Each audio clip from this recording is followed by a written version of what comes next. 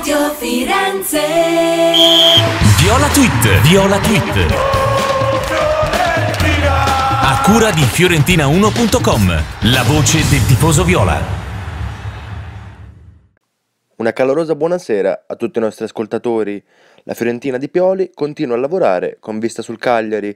Maran prova in tutti i modi a recuperare il bomber Pavoletti, un po' acciaccato. Chance anche per l'ex viola Cyril Terò per andare a caccia di punti salvezza. Proprio la bagarre, per non retrocedere, si infiamma nuovamente con il ribaltone di casa Empoli.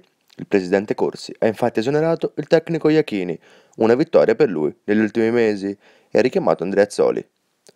Una triste mattinata di addii, un po' così si possono definire le prime ore della mattina, che ha visto andarsene l'ex vicepresidente Viola Grignoli ed il papà del giornalista Gianni Ceccarelli, noto tifoso Viola.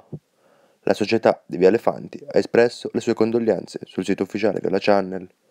Per fiorentina1.com, Vincenzo Pennisi.